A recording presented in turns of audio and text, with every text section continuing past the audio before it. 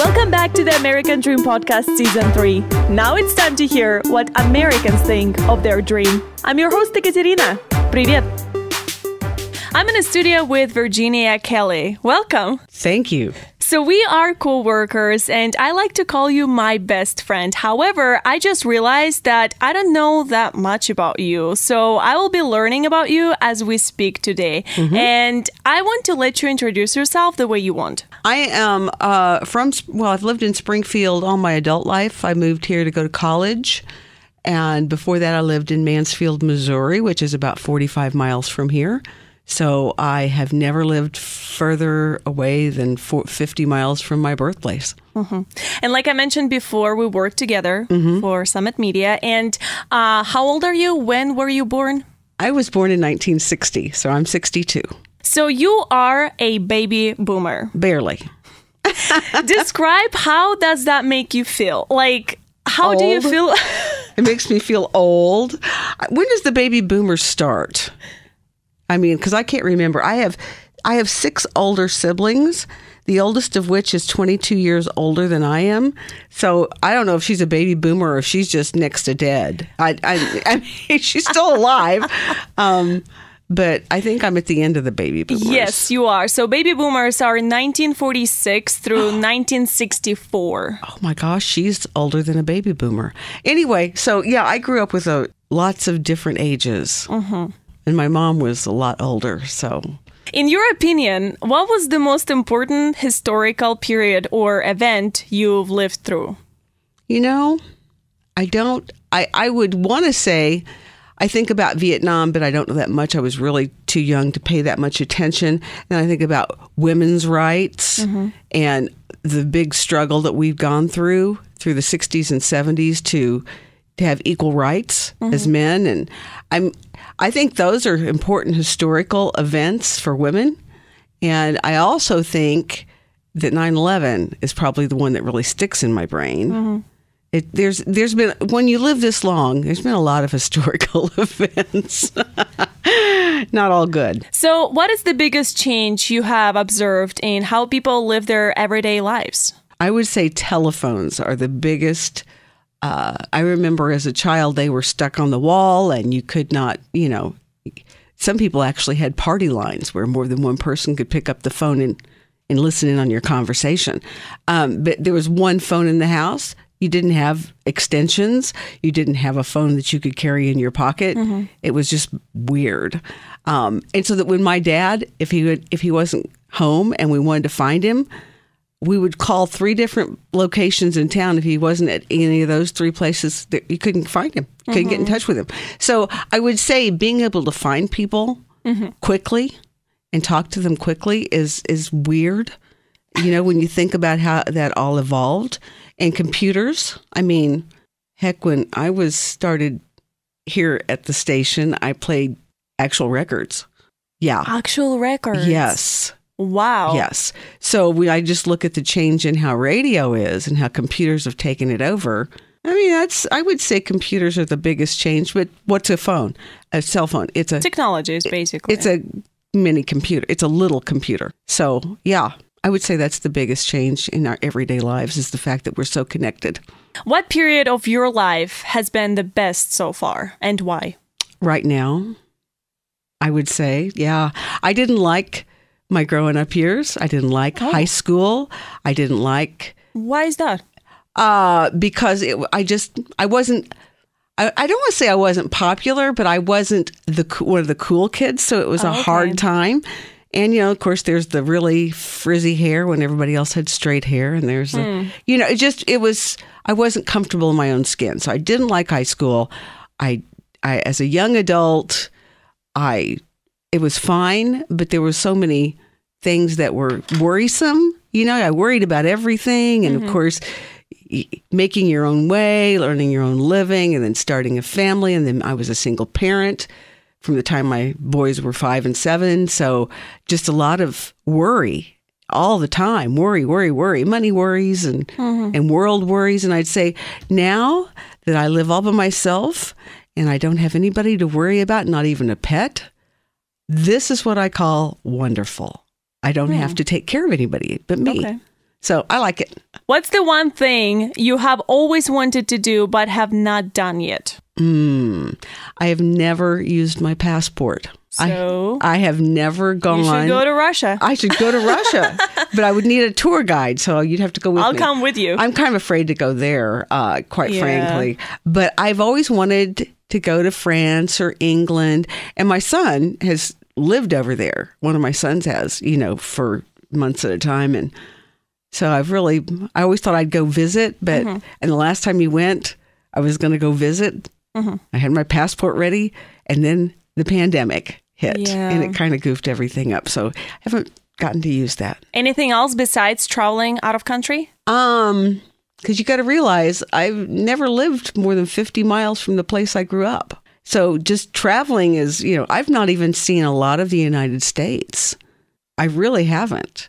I don't get out much. So I would say traveling would be important. Although I like being a homebody, I don't mind not going anywhere, but I feel mm. like I'm missing something maybe that I need to go and and I have a really good friend right now that she just took off for a couple of weeks and went to France by herself. And she's been posting all these pictures and videos. She's walking all over the place. Hmm. Like I should have gone with her. I should have gone with her. But you guys would miss me if I left that That's long. true. That's true. I think this whole place would blow up if I It would here. blow up without mm-hmm. you, Virginia. What advice would you give young people to help them prepare for older age? I would say take care of your body and your mind. I think that's the most important thing because if you don't have your health, it doesn't matter how much money you've got. It doesn't matter, you know, what how great your job is. But if, if you don't, if your body is not, if your body's falling apart, and let me tell you, when you get to be in your 60s, you feel it. You know, I've always tried to be really healthy. I've always worked out. I've always eaten healthy. I do everything I can to feel good Mm-hmm. once you've got that, the rest doesn't matter. I mean, you should always have a job you like. And you should always look at your job as something that you're using valuable skills for and you're helping others. That may not seem like you are, but you are. Everything you do is beneficial to someone else. So if you're thankful for those skills and how you can help others, you know, then you're always going to like your job. But, and don't waste money.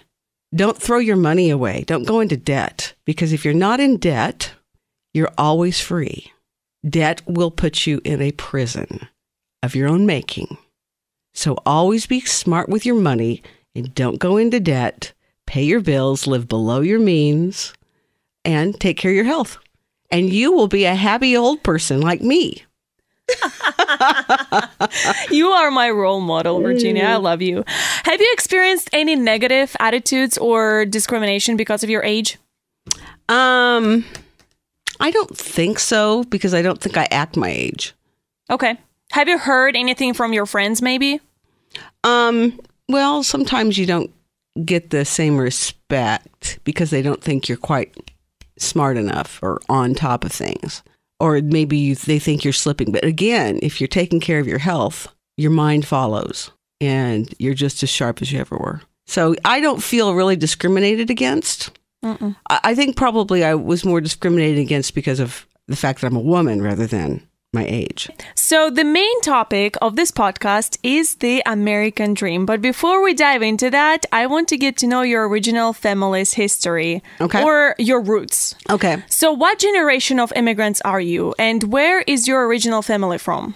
I would say that my great grandparents were the immigrants. Okay, and where were they from? Uh, my grandfather's people were came from Germany, I believe. Last name was Wilcox, and and my grandmother's maiden name was Oetting, which was an O E T T. So it's their German descent, and um, it was their parents that came over. So, but since my mother was so old uh, when she had me, she was in her forties. It's more like what what I say would be my great grandparents would be most people's great great grandparents Okay. but I, but you know, I have an odd family. How did you learn about that? Who told you about this family tree? Just my mom talking about her grandfather. I, I guess the fact that the homemade bread recipe that she always hmm. you made. Well, her grandmother brought the recipe from Germany, and and that's where it came from. And So that's what we, we make bread. We're bread makers. But I don't really have a lot of information on that other than that's where the coloring and the curly hair comes from, is the German descent. Uh, but on my father's side, uh, American Indian. Yeah, I think my great great grandmother was supposed to supposedly a full blooded Oh, wow. uh, Indian. So I've heard in America, if you are uh, 20% Indian, you get a land. Or is I that know. wrong? I don't know. I Somebody told me that on DNA test you have to be 20%. I have- I should go get- find out. You should take that test. okay, so do you know the reason why your original family immigrated here? no, I really don't. Probably just like everybody else, just wanting a better life. You've mentioned that they bake bread. Yeah, well, they were farmers, and so they lived off the land and did everything themselves. And and this bread recipe was really is really good. if I weren't off gluten, I would I would make oh. bread. But yeah, So, what do you think was their American dream at that time? Just better life? thinking that they just probably wanted to farm the land and have have a good life in the new world. So, what do baby boomers think of the American dream? What does your generation feel about this concept in general? The American dream. Well, at our age, we've either got, achieved it or given up on it. I think the American dream was always uh, to own a home, uh, retire early, have have a family, and you've either done that by this age, or it ain't happening. I would say that I've I've I've done it. Yeah. i was about to ask you, what do you think about the American dream? Well, I think it's pretty nice. I think we have a wonderful opportunity in this country to to make our dreams come true, mm-hmm. depending on how hard we want to work. You know, I I wasn't raised with money. I wasn't raised with opportunities. I was very small town, but I had a I had a lot I had a lot of intelligence and because my parents were like depression era people, I was raised with a healthy respect for a dollar. Mm-hmm. And I have worked hard all my life and I've never made a lot of money, but at the end of my life, I have a lot of things to show for it. You know, I have a beautiful home, I have a beautiful family, and I don't owe anybody anything. And that's the reason I'm free. I don't owe anybody anything. And so I think I think it doesn't matter how much money you make. I think it's how it's how much money you keep. That's mm-hmm. what somebody said. Doesn't matter how much money you make, it's how much money you keep. So I think if you're good with your money, you can have the American dream even if you never make a lot of money. Mm-hmm. So, what was your American dream? have a family. I was raised, I, well, maybe of seven, you're supposed to have a family. I'm supposed to have children. So that was, you know, that was, that was bred into me. So, um, yeah, I, that was my dream. I never had a dream or an ambition about a career, but I've had a very nice career, a couple of different ones, you know, in my lifetime. And I don't know. I've got I've got a pretty good education. Mm-hmm. But again, family didn't pay for that either. Mm-hmm. You know, that's something that I got with scholarships and and working hard. Mm-hmm. Um, but I don't know. What's my American dream? Have I done it? You think I've done it? I guess my American dream was to have a family. Mm-hmm. So, have you ever thought this is a little off topic, but have you ever thought about moving out of United States and maybe reaching for your dream somewhere outside of the states? I'd have to start over. Um, I've thought about leaving the United States sometimes when things get ugly, but I can't imagine where I'd go. I really don't know where I'd go, um, other than just to travel, travel, travel. Maybe I'd just live on a cruise ship, and it could live, live someplace different all the time. Yeah, you can see the world on a cruise Yeah. ship. okay, so lastly, I want to hear what you think of the younger generation in the United States. And by younger generation, I mean specifically Gen Z. I am Gen Z. Okay, so anywhere from 97 to 2012 is Gen Z. okay, so in their twenties. Yes. So, what do you think about this younger generation? I think that they have an opportunity. They're very smart. And I think their opportunities are is to pay attention because right now they're living in a world that's full of turmoil and chaos. I mean, the entire world is, mm-hmm. not just America. And the fact that they have access to all that information all the time and they're intelligent, I think that they have the op- opportunity to change things for the better because they're growing up in, well, let's face it, crappy circumstances. Mm-hmm. But there's a potential. They had the ability to take the rights that were given here in, Amer- in America and use them for the better, for the greater good. And I think they're smart enough to do that. I really, really do. I don't think they're selfish. I don't think they're stupid. I don't think they're lazy. But I think that they're having to pay attention to the world and all of its problems, and they'll figure out how to make it better. So, is that something that you admire in younger people today? Oh, yeah. Anything else besides that? The honesty. Uh, because, you know, I hate it when people blow sunshine up my skirt. I want to know the truth. Mm-hmm. And I feel like young people are pretty darn truthful. Maybe it's because of social media. They just put it out there. Mm-hmm. And uh, I And like social that. media is pretty hateful. You have to have. A, Well, it can be hateful. Yeah. but it can be very truthful too. yes, You really know what people are thinking. truthful and not so much. Honestly, there's no there's no uh, politically correct filter on social media. It's hard to say those things to a person's face. you know, That's true. It's easier to just type it. yeah, it's hard to put say it on a in, in a phone conversation. That's why mm-hmm. your generation doesn't talk on the phone. you know, but I've gotten to the point where I don't want to talk on the phone mm-hmm. either. Mm-hmm. I really like the texting. You have a young heart. I feel like you were born in the wrong generation. Now that I'm talking to you and getting to know you more. Oh well, like I said, I don't feel like I'm really as old as I am. That's good. That's good. So, what mistakes d- did your generation make, and what can Gen Z learn from them? maybe not being as involved in the world as we should until it's too late. You know what I mean? Not taking part. I feel like my generation has not been very civic minded as mm-hmm. much as they should.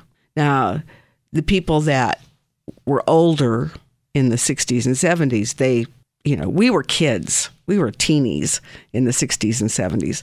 So I feel like we had it really easy in the 80s and 90s. I mean, we had it pretty easy. So we didn't have to we didn't have to work as hard. And I feel like if we tried a little harder, maybe we wouldn't be in the mess. I really look at the world and I think, uh, it's it's a mess. It's a mess. And but I'm I'm not giving up hope on it. So I think we could have been more involved from the get go. But you know, when things are real easy and you don't have to work that hard, you know, as far as making the world a great place because it already feels like it is. I just feel like that's the what we grew up in. I feel like that's kind of reflecting on Gen Z as well. Not working very hard, or maybe millennials. I don't know. I don't know. Younger generation is uh, right now anyway. Everybody is trying to become, uh, you know, social media influencer or getting easy money through Right. I mean, there is no easy money. Of course, you still have to put effort into making content and etc. etc. but it's still everybody is striving for more of an online money making way. Well, they're trying to get trying to be smart about it. Well, my boys are my sons are millennials and like I used to tell them when I was your age, you know, and I was a senior in high school, I had three jobs. I worked 52 hours a week and I went to school and I graduated third in my class. And they look at me and they go, "Mom, we obviously don't have the same work ethic." Mm-hmm, mm-hmm. Well, but they don't have to because if they work smarter, they don't have to work that hard. So there's nothing wrong with working smarter. so it's not generation. You can't use that as an excuse. No, if I'd had if I'd been had the opportunity to sit at a computer back in my teens, because once I figured that out in my 20s when computers were really taking off and spreadsheets and I figured out a lot of stuff where I didn't have to physically work that hard.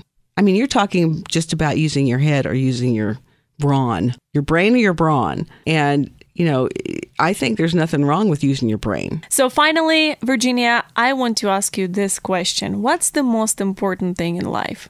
The most important thing in life would be relationships, whether they're family relationships, friend relationships, love relationships. Relationship is the reason we're here, the reason we're on earth.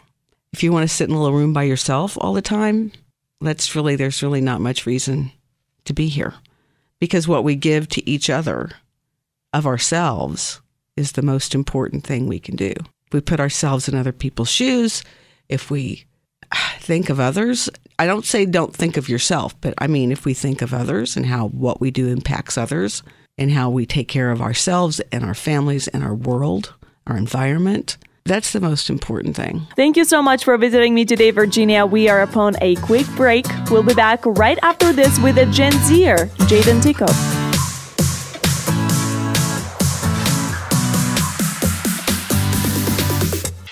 I'm in the studio with Jayden Tiko. You are a famous social media influencer with an audience over 6 million on YouTube, almost 3 million on TikTok, and over 200,000 on Instagram. I would say you are the definition of a classical Gen Zer. Social media is your work. You are highly collaborative, self reliant, and a role model for a lot of other Gen Zers. You have lots of interests besides social media, and you are a very well rounded person, which is why I chose you to interview for my uh, episode for this podcast. Well, thank you. I appreciate that. So I'm happy to be here. so let's begin by just getting to know you a little bit better. All right. Hello. My name is Jayden, otherwise known as Tiko online. Tiko's more of like my character. I sort of portray a character online with a different voice. I'm known as like the whole fish body and everything. Mm-hmm. People watch my videos and they think I'm a little kid, but really that's just what Tiko is. Me, Jayden, I just sort of voice the character Tiko. And all my videos are usually Fortnite. Um, but recently I've been branching branching out into some different content as well. Okay, so the reason why I have you on the show is because you are Gen Zer. You were born in 2005. Yes, so that's technically still a Gen Z, and that's going to be the topic we will discuss with you today.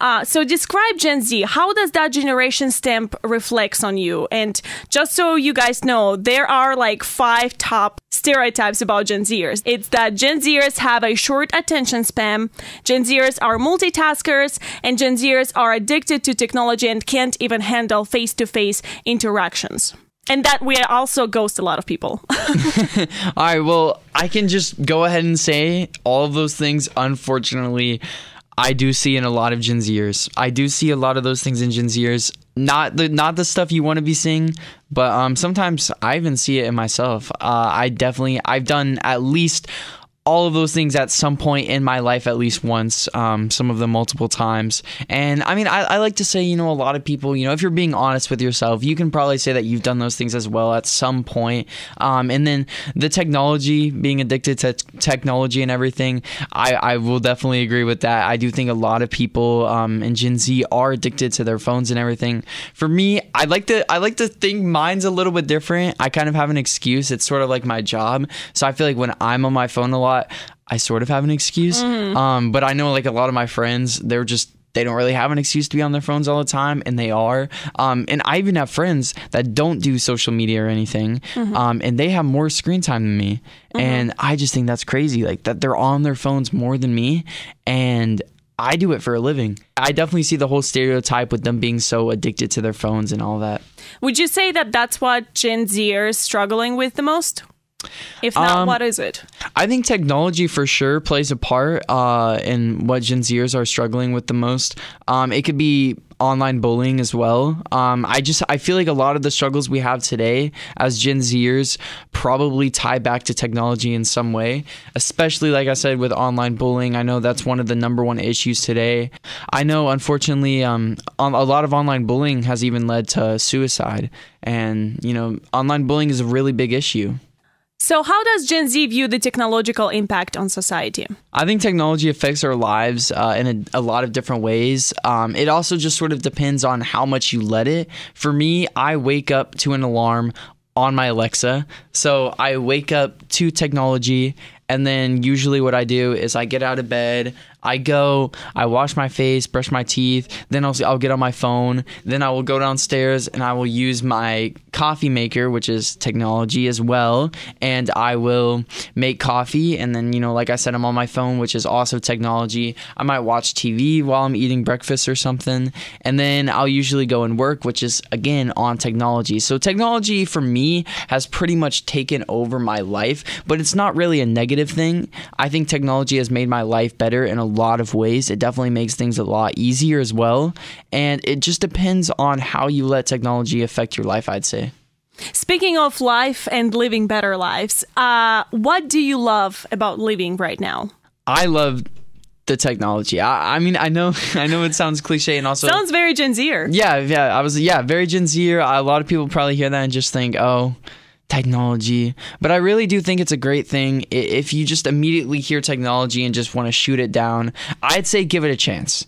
Um, if, if you just immediately shoot it down, I, I'd like to think that you probably haven't really explored all the great things technology can do for you. Because if you if you can't at least agree that technology can do some good things for you, I don't think um, you know you've probably really explored every option. So, you are a popular social media influencer. You have lots of opportunities in your life. And I would assume that person that has all of that power, you can just get whatever you want at this point. But what's the one thing you have always wanted to do but have not done yet? Is there a thing like that? Like eat a snake, swim with sharks, jump out of plane? you're asking me okay i just i think it's funny because you're asking me what's the one thing that you've always wanted to do that you haven't done and then you start listing all these horrible things that nobody would want to do that I would do nobody it. you would you would I eat would jump snake out of plane. okay okay well i mean i guess that's not completely horrible but eat a snake who would want to eat a snake like why is that is that on your bucket list you want to eat a snake I mean, if I get paid to do it, maybe.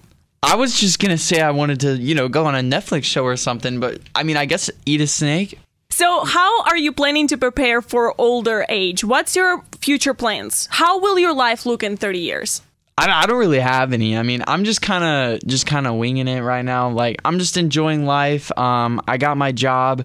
Um, also, the the unfortunate thing about uh, being an influencer, I guess you could say, is you don't really know um, where you're gonna be compared to you know if you're a doctor, you could say, oh well, maybe I want to be researching this field or I want to keep working on patients and something like that. Where uh, being an influencer, we don't know what our tomorrow is gonna look like. We don't know what we're gonna be doing um, especially our pays like my, my my pay is different every single month. Every single day i make a different amount of money. I've never made the same amount of money um, each day. I don't know how much i'll make tomorrow how much i'll make the day after. Sure i can make estimates but you know there's no way to know for sure where a doctor could say oh well this is my salary. So they know like okay i'm gonna get this amount of money. Where i for example like i could just have zero views for the rest of the year and make no money. Like all of it could completely just go away so I don't really know where I'll be in 30 years. I haven't really made plans. I'm just kind of like right now I'm focusing on living in the moment. I just want to make the most out of right now and then just kind of see where it takes me. And that's that's kind of how I've gotten to this moment. I've just kind of let life take me in its own direction. Mm-hmm. So, what period of your life has been the best so far and why? I know you're young, but maybe there was the best part of your life that you remember like it was yesterday. Maybe it was yesterday. it was yesterday actually. I'd say now is probably the best best time of my life. Um, especially like as I'm getting older. I definitely think um yeah, th- this this is the prime of my life right now. So let's get into the actual topic of this podcast now, and it's, you know, immigration, the American dream, all of that stuff. Do you know which generation of immigrants are you? Uh no, unfortunately I do not, but I I I'd say I feel like there's probably a lot of Gen Zers that probably don't know. Okay. I didn't even know that was a thing. okay. I, I had no idea that was even a question that you could ask me. I had no idea, seriously. No idea. Do you know where your original family came from? Do you know your I think I think Ireland, I want to say. I feel like I've heard that from my family before that I'm somewhat Irish, um, but I'm not completely sure uh, if that's where we came from, but I do know I am part Irish. And is that from your dad? I'd say that's probably from my dad's side. That that's my best guess. I'm not really sure. Like I said, I've I've never really been super um into like my family roots and all of that. So you are very American. okay, all right. Well, yeah, I guess you could say that. Yep, that's probably the best way to put it. I, I honestly, I wish I knew. I am curious. I am curious, but I, I have no idea. Okay, then let's uh, swing straight to the topic of the American dream. What do you think about the American dream? I'm very interested because you are Gen Zer. I am too. I have my own thoughts on this concept, and I wonder if it's going to be somewhat similar or v- way different because I am an immigrant. There is this cultural difference too. I feel like the generic idea of the American dream is be successful with your work career, get a house, have a family, have kids, and be happy. Um, you know, make money. I feel like that's probably the most basic idea of the American dream. I think I think overall the end goal if you have achieved all those things, yeah, you could say you've achieved the American dream, but I, I wouldn't say that means you're going to be happy. You know, there's a lot of people that have all of those things, but that doesn't mean they're happy. So, what is your American dream? I know you're American. It's probably does not apply on Americans. You are just I guess- living your dream. Yeah, my your dream, would also be an American dream since I am American. But I my my my dream or my version of the American dream is that, but the main importance is in the happiness. Uh, I, I'd say you don't have your American dream unless you're happy. And you know, if you're really happy with where you are in life, you could have already achieved your American dream. You don't have to have money, you don't have to have a house or a family, but if you're happy with life, I'd say you've achieved that American dream. So that's pretty much how I feel about the American dream for me. I would say if you want to come to America for the American dream, I do it. You know, you got nothing to lose, and America, from the history books, even has been known. We're, we're our freedom and everything. I think the American dream's real. I think if you come here, you definitely have a lot of potential to have success. You can definitely be successful in America. Um, I, I'm not sure if I could say that it's you know any easier or harder than if you were somewhere else, but I can tell you it is definitely possible here. I would like to believe I've done it myself, and anyone else can. I did it. I was I was 14 when I would say I I accomplished my American dream. I've been happy with my life. I've just been enjoying it. So. So, how do you feel about immigrants coming to America for the American dream, but Americans leaving the country for theirs? So, me personally, I have even considered leaving the country. Um, I, I'm not sure if I'd say that was for my American dream. Just kind of more, uh, I thought it'd be cool to uh, live somewhere else and continue my passion, which was my American dream. And it, it helped me achieve my American dream. And I would continue that passion somewhere else as well. I mean, I, I would even consider moving to maybe like London or somewhere else in the world. You know, anywhere for me, like my job, if I can do my job, I'll be happy. And I think my American dream is just kind of my dream, my mm-hmm. generic dream. Right. Like if I can achieve my idea of an American dream, then I'll be happy no matter where I am. I don't even have to be in America to achieve my American dream. You know, if anything, you could even say, you know, anyone could achieve their American dream. You don't even have to live in America. So, you tolerate that? Yeah.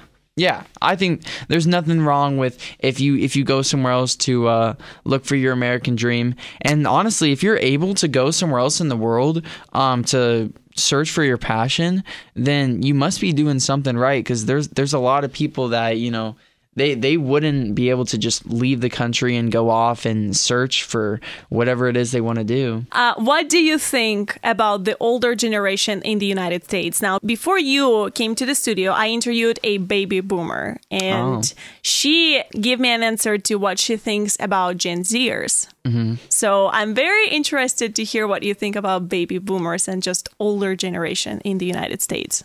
Well, I think they're they're very nice. I will say. I think older people, no offense, are very sweet. Um, you guys are very very kind, very loving. I don't think I've ever met a, a baby boomer um, that I've had a good interaction with. That I, I was like, okay, they're mean, they're nice. Um, but you know, th- you know, occasionally uh, you know, if you know a kid's like riding their dirt bike or something down your neighborhood, you guys might like yell at them. So I feel like you guys get a bad stereotype that you're like evil or like mean or like the grumpy old lady or man or whatever. But I know you guys are nice. You know, at my church especially, I've met a lot of you, and I think you guys are very sweet people, and I'm I'm happy to be around you but I, I, know a lot of people probably give you the bad stereotype of just being the old grumpy lady or the old grumpy man. What would you like to say to a baby boomer right now? Can you feel the wrinkles on your face? I've always been curious. Like, can you feel them? Like, do you feel every little wrinkle in your face, or is it just like you don't know they're there? Like, I do mean, you know your face is sagging? I mean, can, no offense, but yeah. right. You can probably find that out yourself when you're smiling. You have that little wrinkle area. But I can't of. feel that. Like I can't like I can feel the my muscles stretching, but I can't mm-hmm. feel my skin like dropping into my face. You know what I mean? Oh, that's what I'm saying. Like I can't feel my skin. Of yeah, like the wrinkles. Like what? Like if you look at um, a baby boomer, they're definitely gonna have some type of wrinkles on their face. Yeah. Um, can they feel like their skin, like the texture difference and like the mm. actual wrinkles and everything? Mm, that's a good question. I've never thought about it. Well, I didn't think about it till ten seconds ago, but you know, here we are. All right. So, lastly, what's the most important thing in life, Jayden? Happiness. I know it sounds cliche, but seriously, you could have anything else in the world, but if you're not happy, you're probably not going to enjoy it. And I say probably because, you know what? There probably are some people that would enjoy life even if they weren't happy, which would probably make them happy. So, you know what? I, I take it back. You have to be happy. You have to be happy. there you go. That's my motivational right there. That's that's all you got to know. You got to be happy. Well, thank you so much, Jayden, for visiting me today. Make sure to give us a follow on our Instagram and Facebook at Podcast TID.